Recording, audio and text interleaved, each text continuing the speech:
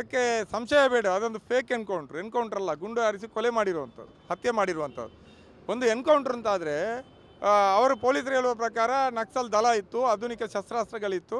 ನಾವು ಅವರನ್ನ ಶರಣಾಗಲಿಕ್ಕೆ ಹೇಳಿದ್ವಿ, ಅವರು ಒಪ್ಪಲಿಲ್ಲ ಗುಂಡು ಹಾರಿಸಿ ಪರಾರಿ ಆಗುವ ಪ್ರಯತ್ನ ಮಾಡಿದರು, ಒಬ್ಬ ಬಲಿಯಾದ, ಬಾಕಿಯವರು ಗುಂಡು ಹಾರಿಸ್ತಾ ಪರಾರಿ ಆದರು ಅಂತ ಹೇಳಿದರು. ಎರಡು ದಲಗಳ ಮೇಲೆ ಮಧ್ಯೆ. ಸಶಸ್ತ್ರವಾದಂಥ ಶಸ್ತ್ರಸಜ್ಜಿತ ಎರಡು ದಲಗಳ ಮಧ್ಯೆ. ಒಂದು ಕಡೆ ಪರಸ್ಪರ ಗುಂಡು ಹಾರಾಟ ನಡೆಯುವಾಗ ಮಧ್ಯೆ ಬೇಕಾದಷ್ಟು ಹೂವಿನ ಮರಗಳು, ಬಳ್ಳಿಗಳು, ಬಾಳೆ ಗಿಡಗಳು, ಅಡಿಕೆ ಗಿಡಗಳಿತ್ತು. ಅವೆಲ್ಲ ಛಿದ್ರ ಆಗಬೇಕಿತ್ತು. ಮಾತ್ರ ಆ ಎನ್ಕೌಂಟರ್ ನಡೆದ ಸ್ಥಳದಲ್ಲಿದ್ದಂಥ ಜಯಂತ ಗೌಡರ ಮನೆಯಲ್ಲಿ ನಮ್ಮ ಈ ಇದರದು ತೆಂಗಿನ ಗರಿಗಳ ಮಡಲು ಮತ್ತು ಈ ಮೆಸ್ಸು ಇದೆಲ್ಲ ಹಾಕಿ ಕವರ್ ಮಾಡಿದರು ಮನೆ. ಅದೆಲ್ಲವೂ ಚಿತ್ರ ಆಗಬೇಕಿತ್ತು. ಅಲ್ಲಿ ಯಾವುದೂ ಗುಂಡು ಹಾರಾಟದ ಲಕ್ಷಣ ಇಲ್ಲ. ನಾವು ಒಂದು ಗಂಟೆ ತಾಸು ಎಲ್ಲ ಹುಡುಕಾಡಿದ್ರು ಕೂಡ ಗುಂಡು ಹಾರಿಸಿದ ಯಾವುದೇ ಲಕ್ಷಣಗಳು ಕಂಡು ಬಂದಿಲ್ಲ. ಎಲೆಗಳು ಉದುರಲಿಲ್ಲ, ಛಿದ್ರ ಆಗಿಲ್ಲ. ಮನೆಗೂ ಕೂಡ ಯಾವುದೇ ಹಾನಿ, ಗುಂಡು ಹಾರಾಟದಿಂದ ಯಾವುದೇ ಹಾನಿ ಆಗಿಲ್ಲ. ಅದರಿಂದಾಗಿ ಇದು ಸುಳ್ಳು ಅನ್ನುವಂಥದ್ದು ಸಾಬೀತಾಗ್ತದೆ. ಮತ್ತು ಪೊಲೀಸರು ಪೊಸಿಷನ್ ತೆಕ್ಕೊಂಡು ರಕ್ಷಣಾತ್ಮಕವಾಗಿ ನಿಂತು ಗುಂಡು ಹಾರಿಸುವಂಥ ಯಾವುದೇ ವ್ಯವಸ್ಥೆ ಅಲ್ಲಿ ಇರಲಿಲ್ಲ. ಅದರಿಂದಾಗಿ ಅಷ್ಟು ರಿಸ್ಕ್ ತಗೊಂಡು ಪೊಲೀಸರು ದಾಳಿ ಮಾಡಲಿಕ್ಕೂ ಕೂಡ ಆಗೋದಿಲ್ಲ. ಅದರಿಂದಾಗಿ ಇದೊಂದು ಫೇಕ್ ಎನ್ಕೌಂಟ್ರ್ ಈ ಹೋರಾಟಗಳನ್ನು ಇದು ತಮ್ಮ ತಪ್ಪುಗಳನ್ನು ಮುಚ್ಚಿಡಲಿಕ್ಕೆ ಇದೊಂದು ಎನ್ಕೌಂಟ್ರ್ ಅನ್ನುವಂಥ ಕಥೆಯನ್ನು ಕಟ್ಟಿದ್ದಾರೆ. ಮತ್ತು ಎನ್ಕೌಂಟ್ರ್ ನಡೆದ ಸಂದರ್ಭದಲ್ಲಿ ಇವರಲ್ಲಿರುವಂಥದ್ದು ರೇಷನ್ ಸಂಗ್ರಹಕ್ಕೆ ಬಂದಿರೋದು ಅಂತ. ಆ ಮನೆಗಳಲ್ಲಿ ಯಾರೂ ಇರಲಿಲ್ಲ. ಎಲ್ಲರೂ ಕೂಲಿ ಕೆಲಸಗಳಿಗೆ ಹೋಗಿದ್ರು. ಮನೆ ಬಾಗಿಲಾಕಿ ಕೂಲಿ ಕೆಲಸಕ್ಕೆ ಹೋಗಿದ್ರು. ಐದೂವರೆ ಗಂಟೆಗೆ ಮನೆ ಹತ್ರ ಬರ್ತಾ ಇರುವಾಗ ಗುಂಡು ಹಾರಾಟದ ಶಬ್ದ ಕೇಳಿ ಅವರ ಪಾಪ ನೆಂಟರ ಮನೆಗಳಲ್ಲಿ ಕೂತಿದ್ದಾರೆ. ಅವರ ಮನೆಗಳನ್ನು ನಾವು ಶನಿವಾರ ಸಂಜೆಯವರೆಗೆ ನೋಡ್ತೀವಿ. ಆ ಮನೆಗಳಲ್ಲಿ ಎ ಎನ್ ಎಫ್ನವರು ಮೂರು ಮನೆಗಳಲ್ಲಿ ಕೂಡ ಅಕ್ರಮವಾಗಿ ಅವರನ್ನು ಹೊರಹಾಕಿ ವಾಸ ಹೂಡಿದ್ದಾರೆ. ಇದೆಲ್ಲವೂ ಕೂಡ ಭಾಳ ಸ್ಪಷ್ಟವಾಗಿ ಇದೊಂದು ನಕಲಿ ಎನ್ಕೌಂಟ್ರು. ಗುಂಡು ಹಾರಾಟ, ಬೇರೆಲ್ಲಿಂದಲೂ ಆತನನ್ನು ಬಂಧಿಸಿ ತಂದು ಗುಂಡು ಹಾರಾಟ ಮಾಡಿ ಕೊಲೆ ಮಾಡಿದ್ದಾರೆ, ಹತ್ಯೆ ಮಾಡಿದ್ದಾರೆ ಅನ್ನುವಂಥದ್ದನ್ನು ನಿಸ್ಸಂಶಯವಾಗಿ ಹೇಳುತ್ತೆ. ಅದಕ್ಕೇನು ತಜ್ಞರು, ಗಿಜ್ಞರು ಬೇಕಾಗಿಲ್ಲ. ಸಾಮಾನ್ಯ ಜ್ಞಾನ ಸಾಕಾಗ್ತದೆ ಅನ್ನುವಂಥದ್ದು ನಮ್ಮ ನಿಲುವು. ಇದರಲ್ಲಿ ಭಾಳ ಸ್ಪಷ್ಟವಾಗಿ ಒಂದು ಕಡೆ ನಾವೇನೋ ಸಾಧನೆ ಮಾಡಿದ್ದೀವಿ. ಕೊಲೆ ಮ ನಕ್ಸಲರನ್ನು ಹತ್ಯೆ ಮಾಡಿ ಏನೋ ಸಾಧನೆ ಮಾಡಿದ್ದೀವಿ ಅಂತ ತೋರಿಸ್ಕೊಳ್ಳೋದು. ಮತ್ತು ಈಗ ಕಸ್ತೂರಿ ರಂಗನು ಮತ್ತು ಬೇರೆ ಬೇರೆ ಪ್ರಶ್ನೆಗಳಲ್ಲಿ ಏನು ಅರಣ್ಯದ ಅಂಚಿನ ನಿವಾಸಿಗಳು ಹೋರಾಟಗಿಳಿತಾ ಇದ್ದಾರೋ, ಆ ಹೋರಾಟಗಳನ್ನು ಹತ್ತಿಕ್ಕು ಅವರನ್ನು ಭಯಪಡಿಸುವಂಥ ಉದ್ದೇಶದಿಂದ ಮಲೆಕುಡಿಯರ ಮನೆಗೆ ತಂದು ಈ ರೀತಿ ಕೊಂದು ಒಂದು ಏನೋ ಒಂದು ಸಂದೇಶವನ್ನು ಕೊಡುವಂಥ ಭಯಭೀತಗೊಳಿಸುವಂಥ ಸಂದೇಶವನ್ನು ಕೊಡುವ ಪ್ರಯತ್ನವನ್ನು ಪೊಲೀಸ್ ಇಲಾಖೆ ಮಾಡಿದೆ ಅಂತ ನಮಗೆ ಅನಿಸ್ತದೆ. ನಾವು ಅದಕ್ಕಾಗಿ ಜುಡಿಷಿಯಲ್ ಎನ್ಕ್ವೈರಿ ಸ್ವತಂತ್ರವಾದಂಥ ಒಂದು ತನಿಖೆ ಆಗಲಿ, ಅದರಿಂದ ಎಲ್ಲ ಸತ್ಯ ಹೊರಗಡೆ ಬರ್ತದೆ ಅನ್ನುವಂಥ ಬೇಡಿಕೆಯನ್ನು ಇಟ್ಟಿದ್ದೀವಿ.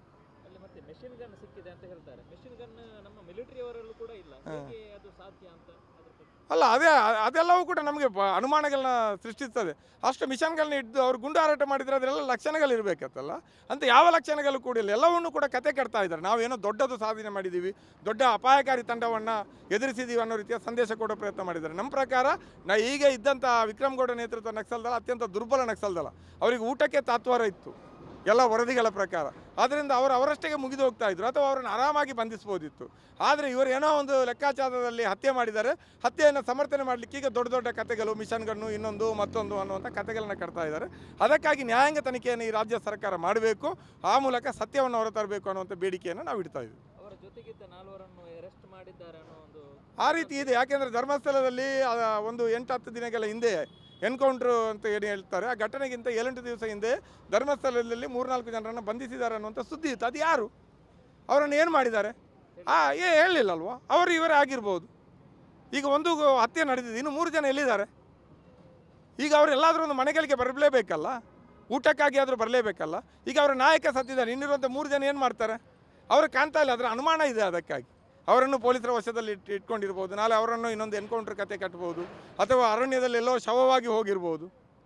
ಅದಕ್ಕೆ ಒಂದು ಡೆಮೋಕ್ರಸಿಯಲ್ಲಿ ಒಂದು ಪ್ರಜಾಪ್ರಭುತ್ವ ವ್ಯವಸ್ಥೆಯಲ್ಲಿ ಈ ರೀತಿ ಅನುಮಾನಗಳು ಅನುಮಾನಗಳಾಗಿ ಉಳಿಬಾರ್ದಲ್ಲ. ವ್ಯವಸ್ಥೆಯ ಮೇಲಿನ ಪ್ರಶ್ನೆ ಇದು. ಅದಕ್ಕಾಗಿ ನ್ಯಾಯಾಂಗ ತನಿಖೆ ಸ್ವತಂತ್ರವಾದ ನ್ಯಾಯಾಂಗ ತನಿಖೆಯನ್ನು ಸಿದ್ದರಾಮಯ್ಯ ಸರ್ಕಾರ ಮಾಡಬೇಕು ಅನ್ನುವಂಥದ್ದು ನಮ್ಮ ಬೇಡಿಕೆ. ಈ ಶರಣಾಗತಿಯ ಏನು ಕೆಲಸ ಪ್ರಯತ್ನ ಆಗ್ತಾ ಇಲ್ವಾ? ಶರಣಾಗತಿ ಸಮಿತಿಯವರು ನಮಗೆ ಮೊನ್ನೆ ಸಿಕ್ಕಿದ್ರು. ಅವರು ಹೇಳೋ ಪ್ರಕಾರ ನಾವು ಪ್ರಯತ್ನವನ್ನು ಮಾಡ್ತಾ ಇದ್ದೀವಿ. ಸರ್ಕಾರ ಅವಕಾಶ ಮಾಡಿಕೊಡಬೇಕು. ಈ ರೀತಿಯ ಕೂಂಬಿಂಗ್ ಮಾಡುವ ಬದಲಿಗೆ ನಮ್ಮನ್ನು ಅರಣ್ಯಕ್ಕೆ ಹೋಗ್ಲಿಕ್ಕೆ ಅವಕಾಶವನ್ನು ಕೊಡಬೇಕು. ನಾವು ಪ್ರಯತ್ನವನ್ನು ಮಾಡ್ತೀವಿ. ನಮಗೆ ಪ್ರಯತ್ನ ಮಾಡಲಿಕ್ಕೆ ಅವಕಾಶ ಕೊಡಿ ಅಂತ ಅವರು ಬೇಡಿಕೆ ಇಟ್ಟಿದ್ದಾರೆ. ಅಂಥ ಪ್ರಯತ್ನಗಳಿಗೆ ಸರ್ಕಾರ ಪ್ರೋತ್ಸಾಹ ಕೊಡಬೇಕು. ಅದರ ಬದಲು ಕೂಮಿಂಗಿನ ಹೆಸರಿನಲ್ಲಿ ಹತ್ಯೆ ಮಾಡೋದ್ರಿಂದ ಏನೂ ದೊಡ್ಡ ಸಾಧನೆ ಆಗಲ್ಲ. ಎಲ್ಲರೂ ಕೂಡ ಈಗ ಮುದುಕರಾಗಿರುವವರು.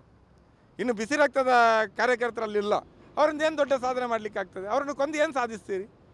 ಶರಣಾಗತಿ ಆಗಲಿಕ್ಕೆ ಅವಕಾಶ ಕೊಡಿ. ಶರಣಾಗಲಿಲ್ಲ ಅಂದರೆ ಬಂಧಿಸಿ. ಇಷ್ಟೇ ಇರೋದು ನಮ್ಮದು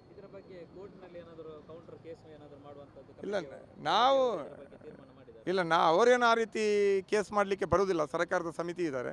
ಮತ್ತು ನಾವು ಆ ರೀತಿಯಲ್ಲಿ ಏನು ಆಲೋಚನೆ ಮಾಡಿಲ್ಲ. ನಾವೊಂದು ಸ್ವತಂತ್ರವಾದ ಸತ್ಯಶೋಧನಾ ಸಮಿತಿಯನ್ನು ಮಾಡಿ ಅಲ್ಲೆಲ್ಲ ಹೋಗಬೇಕು ಅನ್ನೋಂಥ ಚರ್ಚೆ ನಡೀತಾ ಇದೆ.